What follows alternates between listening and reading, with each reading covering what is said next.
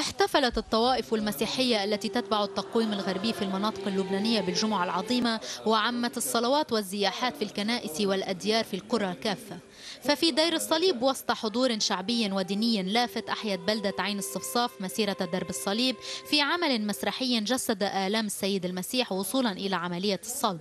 أما في بلدة الزغرين فأقامت رعية مار أنطونيوس بمشاركة كاهن الرعية وحشد من المؤمنين مراحل درب الصليب ورفعت الصلوات على نية السلام. في لبنان والمنطقة.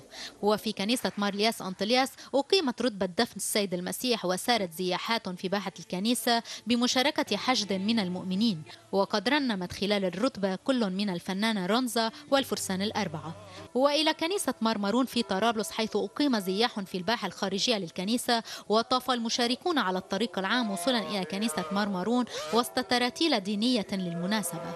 وعلى طريق الشام ترأس متروبوليت بيروت وجبيل وتوابعها لروم الكاثوليك المطران كيرلس سليم بسطرس رتبة دفن السيد المسيح في حضور حشد من الفعاليات السياسية والاجتماعية والاقتصادية. وسارت زياحات في باحات الكنيسة بمشاركة حشد من المؤمنين.